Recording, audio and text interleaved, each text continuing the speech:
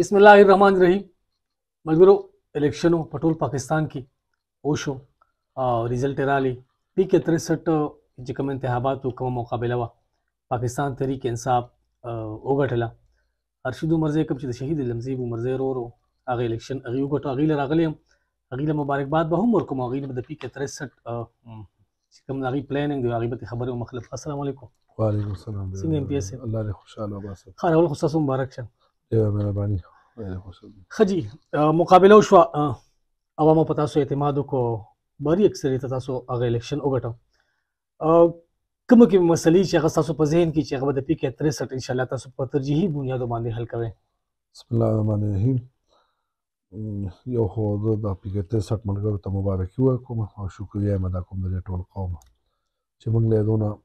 غټ ووټ راکړ او عزت یې راکړ بالکل جی دا پی کې ته سټ ډېرې مسلې مسایل دي نو کې د الیکشن کې کمپاین مې په خپل وکړو کوسه کوسه ته معلومه ده یو خو زموږ په دې حلقه کې چې دی زه به ته ده وایم چې لومړنی فوکس به زموږ په سکولونو وي چې موږ ایجوکیشن ته لږ فوکس زیات ورکړو او هیلت ته نو دا یو مین سیزونه دي دریم نمبر چې دي زموږ چې کوم ځای ته ورځی ټرانسفارمر مسلې دي نو ابډا باندې ډېر غټ فوکس هم په هغې ساتل غواړي او دې نه علاوه چې دی موږ به ته ده ووایو چې کنسټرکشن کې خو دا ټیک شو سي ان ډبلیو شو یا پبلک هیلت شو دا هم د ټیم ضرورت دی دا دې سایې سایې موږ خو په دې نه مخکې هم چې د که زه درته ووایم نو موږ په ایجوکیشن هم فوکس کړی دی په هیلت هم کړی دی او په وابډه باندې هم کړی دی انشاءالله همغه طریقې سره به چې دی په دې څیزونه فوکس وي دې قوم باندې ډېر زیات اعتماد کړی دی او موږ به کوشش کوو چې هغه اعتماد ان شاء الله د هغوی پر هغه باندې ورسو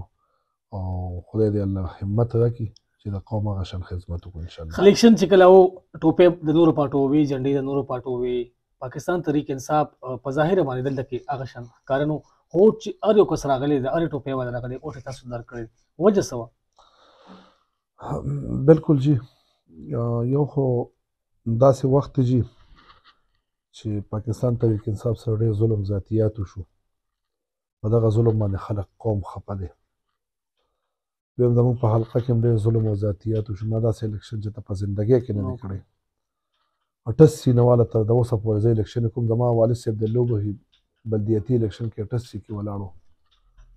او د هغه د وخت نه واله دې وخته پورې دا لمزي به مرزي دی الله وبخي هغه سره الیکشن کوم والد صاحب سره مې کړی دی الله دې هغه مو خوښي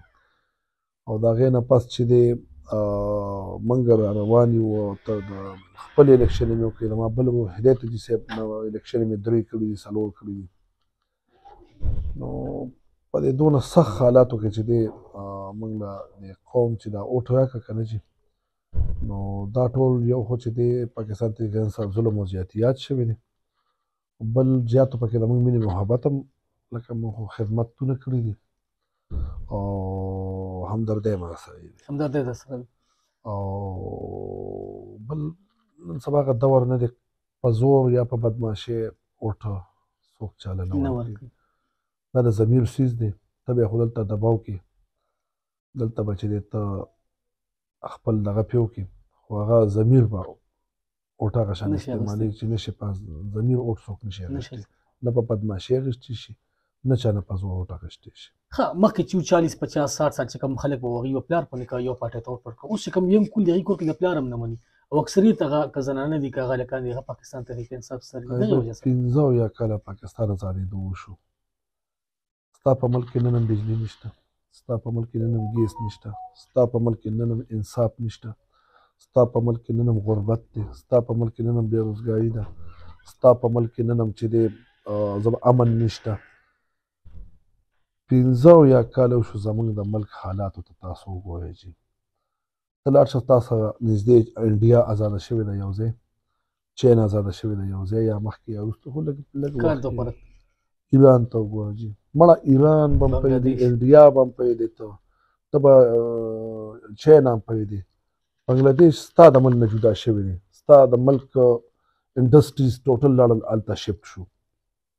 ستا د ملک انډستری دلته بند شو لاړ بنگلاديش ته شپ شو په څه وجه امن امن دویم نمبر خبره چې غټه د بجلی شته ګیس شته ټیک شي چې کنه دویم نمبر زمونږ کرنسي ته وګوره رستر ز لاندې وغورځي دا رستر ز لاندې وغورځي بل زمونږ د پاسپورت کوم بیزتی زمونږ ملک یو کرپ ملک حسابيږي کرپ سیاستدان قوم دا ټولو پیژندل جی یو عمران خان چې د قوم نه لګیا دی ملک نه لګیا دی الګیا دی چې دا ملک جوړ شي دا الیکشن ثبوت دی بس کړه دا خو څوک ماشومان نه دي تاسو خو تیر ځل منسټر پاتې شوی دا سه اواز را چې ارشد مرزا ته هم منسټر ملاوي دا خبر خبره دا پارټي پالیسي باندې بچلیږو کړه کړه خو دې وسره خو کې کړه نه کړه څه خبره نه اخري پیغام هغه زنانه چې هغه تاسو ګورو تاسو ته اور درکړل د خاوند نه په پټه د زوی نه په پټه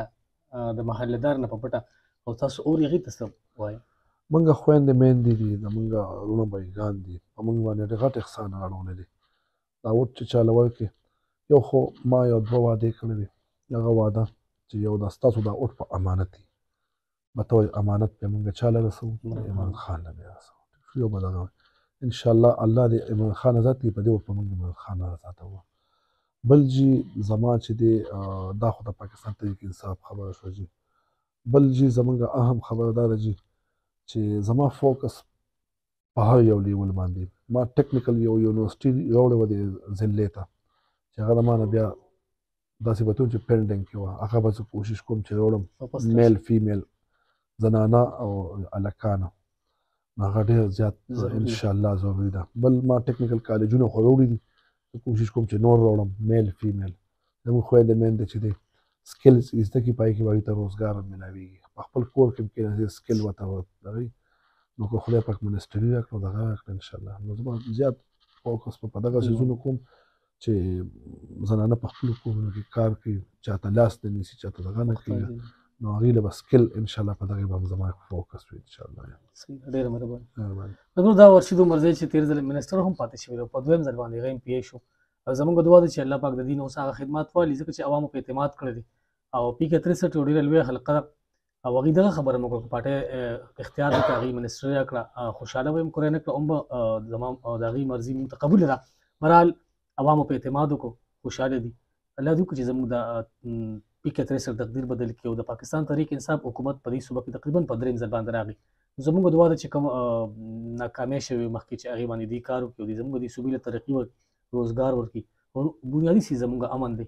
چې په هغه باندې ان شاء الله کار وکړي په دغه الیکشن شو په خوشاله سره شو دغه دوا سره خپل ورور ارکمیر له ورکه اجازه ترلې الله پامه